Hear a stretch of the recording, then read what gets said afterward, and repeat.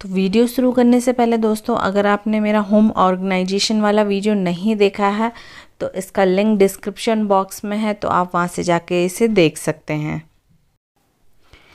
आज मैं आपके साथ शेयर करने जा रही हूँ। दोस्तों, ये है मेरा किचन का डोर जो ऊपर से तो बहुत अच्छे से क्लीन है और जैसे जैसे आप उसे नीचे करते जाएँगे कैमरे को तो ये नीचे, सबसे नीचे से बहुत ज़्यादा गंदा और होगा इसे बहुत टाइम से क्लीन नहीं किया गया है और ये जो डोर है, ये मेरा जो पहले का पुराना किचन था, उसका डोर है और उसकी स्थिति कुछ इस तरीके से नीचे है क्योंकि जब हम धुलते हैं, धुलाई करते हैं किचन की तो पूरी तरीके से गंदा हो जाता है। इसमें एक मोटी सी परत सी जम जाती है, चिकनाहट वाली, क्योंकि जब किचन में खाना बनता है तो पूरी तरह से उसकी जो भाप है, वो इधर उधर फैल जाती है और वो एक चिकनाहट के रूप में एक परत सी उसमें जम जाती है तो वही हाल दरवाज़ों का है। तो आज मैं आपके साथ शेयर करूँगी दोस्तों कि किस तरीके से आप अपने कितने भी चिपचिपाहट वाले दरवाजे हों, खिड़कियाँ हों, उसको आप कैसे क्लीन कर सकती हो। तो मैं आज दरवाजे को क्लीन करना आपके साथ शेयर करूँगी।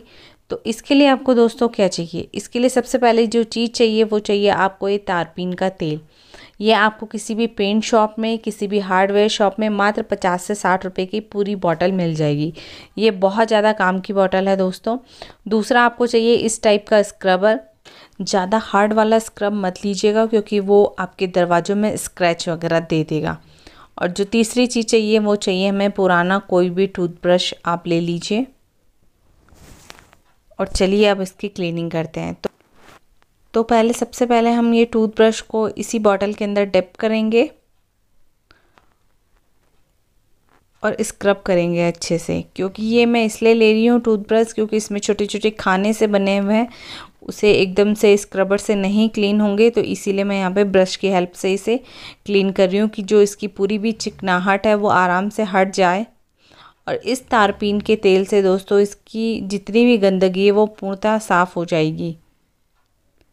तो इस तरीके से आपको स्क्रब करना है। अगर आपका सांचे वाला दरवाज़ा या डिज़ाइन वाला दरवाज़ा है, या खिड़कियाँ हैं इस टाइप की तो इस तरीके से आप उसे क्लीन कर सकते हैं टूथब्रश की हेल्प से। अब हमें यहाँ पे लेना है ये स्क्रबर तो मैं इसी तरीके से इसे डिप करूँगी और अच्छे से स्क्रब करूँगी।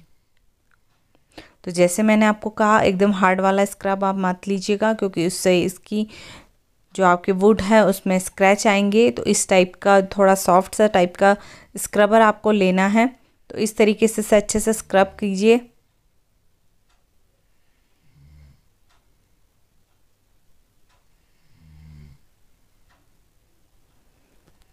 तो इस तरीके से हम दरवाज़ों को अच्छे से स्क्रब कर लेंगे। यहाँ पे आप इसे ब्रश की हेल्प से क्लीन कर सकती हूँ। ब्रश से भी अच्छे से क्लीन हो जाएगा। अब मैं इसे एक कपड़े से साफ़ करके आपको बताऊँ कि कितनी गंदगी इससे निकल रही है।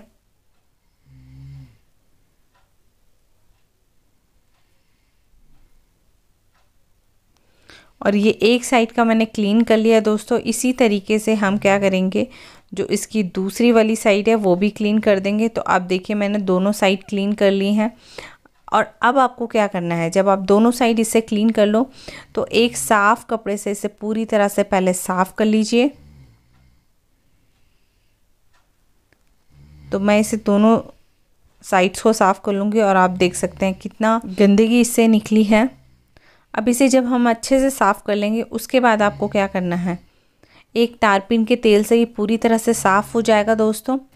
अब ये सूखने के बाद दोस्तों थोड़ा ड्राई सा हो जाता है। अब हमें इस वुड को पॉलिश करना है। तो यहाँ पे मेरा D A I Y wood polish है। तो इसका लिंक आपको चाहिए तो डिस्क्रिप्शन बॉक्स में मिल जाएगा। और इसी से मैं अपने सारे वुडों की फर्नीचर को पॉलिश करती हूँ। इससे बहुत अच्छी चमक आती है मेरे फर्नीचर में। अब मैंने इसको अप्लाई करना है हल्का सा इसे स्प्रे करके। इससे जो आपके वुड में है फर्नीचर में बहुत अच्छी साइन आ जाती है, चमक आ जाती है।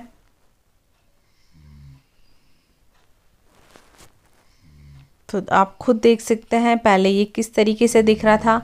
अब ये फर्नीचर जो यहाँ पे दरवाज़ा है, ये कितना अच्छे से क्लीन हो चुका है। तो आई होप दोस्तों, आज का ये वीडियो आपको मेरा पसंद आएगा तो वीडियो पसंद आएगा तो आपको क्या करना है? एक लाइक करना है और मुझे कमेंट सेक्शन में ये ज़रूर बताइएगा कि आपको ये वीडियो कैसा लगा। दोस्तों, अगर इस टाइप की और वीडियो जाता है तो मुझे कमेंट सेक्शन में ज़रूर लिख के भेजिए कि आप किस टाइप की वीडियो देखना चाहते हैं और जिसमें मुझे सबसे ज़्यादा कमेंट्स आएँगे, मैं वही वीडियो आपके साथ शेयर करूँगी। तो अब मिलते हैं दोस्तों आपसे।